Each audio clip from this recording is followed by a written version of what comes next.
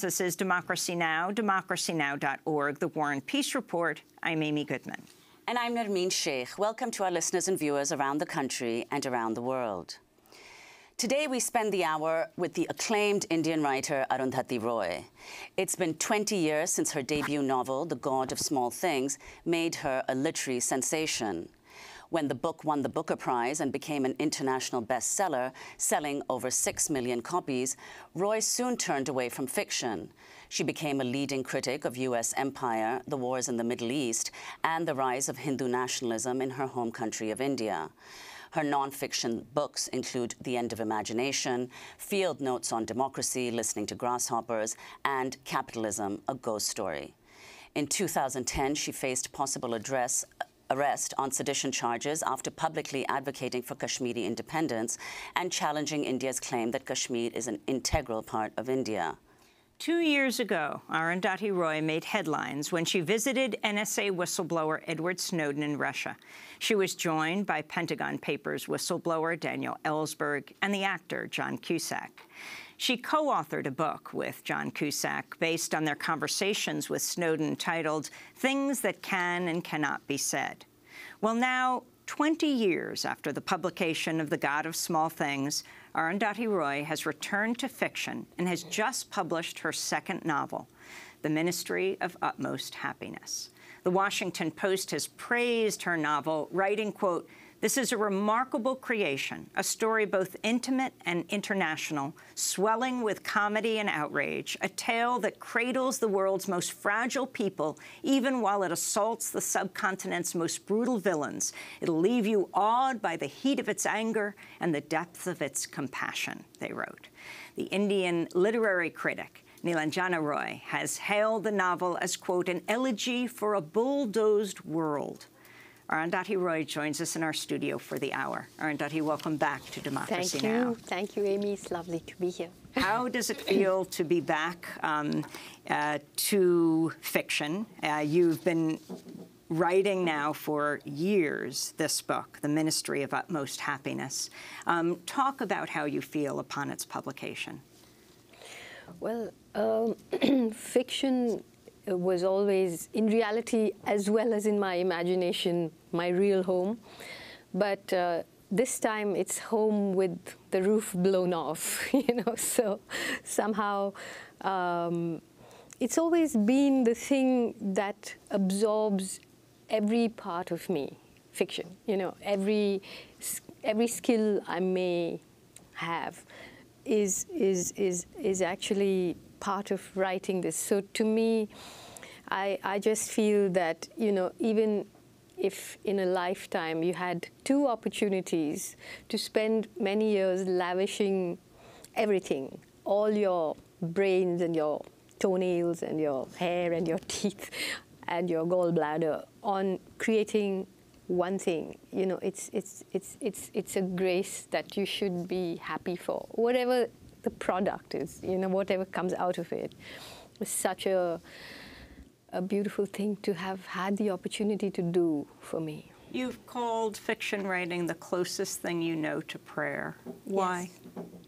Because of this, you know, because to me, the idea of being able to concentrate on trying to um, you see, uh, the, the, the, the, nonfiction that I've been writing, you know, these are all essays that I, uh, I mean, were urgent interventions in situations that were closing down in India. And each time I wrote an essay, I would, you know, it would, it would lead to so much trouble. I'd promise myself not to write another one, but I would.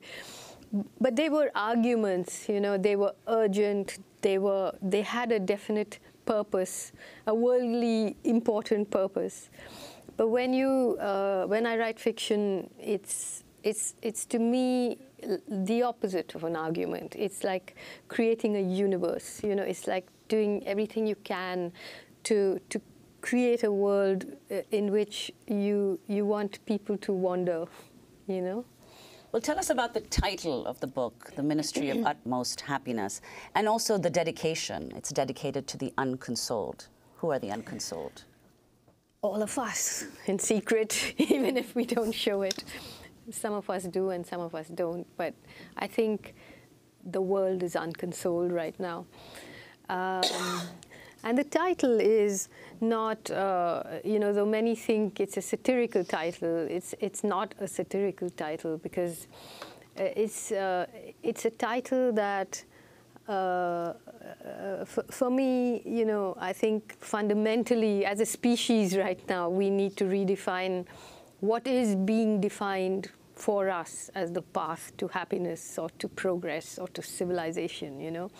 And this, in this book, it is, it is a specific story and, and people who, who understand that it's a fragile thing. Happiness is not a, a building or an institution that that is, is, is, is there forever. It's fragile and you, you, you enjoy it when you can and, and you, you may find it in the most unexpected places. Well, you also said in a, in a 2011 interview uh, when you were asked about the writing of this book, you said, I'll have to find a language to tell the story I want to tell by language, I don't mean English, Hindi, Urdu, Malayalam, of course. I mean something else, a way of binding together worlds that have been ripped apart. What did you mean by that? Uh, sounds quite clear, doesn't it? well, really, uh, um, but what worlds have been I, I, ripped apart? Yeah, well, the worlds, the worlds that have been ripped apart in, I mean, in the in the world, as in including here, but in in, in the subcontinent where I live, it's as though uh, people have ceased to be able to speak to each other. Again, I don't mean in, in real languages of Hindi, Urdu, or Malayalam, but it's as though people who live in cities, they don't even know how to go into a village anymore you know, they don't even understand what it means to live on the land anymore. People who live there don't know what to do when they come into the other modern world. I mean, India has always lived in several centuries simultaneously, but it's just becoming almost psychotic now. And, and, and also, I mean, in real terms, we, we live in several languages, in real languages. Here I do mean Urdu and Hindi and English and all of that together. And all the, um, and, and fundamentally, I think what I mean is that there is a danger of, of, of fiction becoming domesticated, you know, of too much of a product that has to be quickly described, catalogued, put on a particular shelf, and everybody has to know what is the theme. And to me, I wanted to blow that open. You know, what is the theme? The theme is the air we breathe. The theme is the politics that affects our lives. It's not just news headlines. You know, what happens in Kashmir or what happens with people who have been displaced or what happens in intimate spaces. All of it can only be presented as, as part of a universe in fiction because you can't do it otherwise. We're going to break, and when we come back, we're going to talk about um, some of the places and the people. This takes place in Kashmir. It takes place in Old Delhi. It takes place in a graveyard. And among the featured people are a trans community. And we'd like you to start there when we come back, reading from your book. Arundhati Roy is with us for the hour. Her new novel is The Ministry of Utmost Happiness. We'll be back with her in a minute.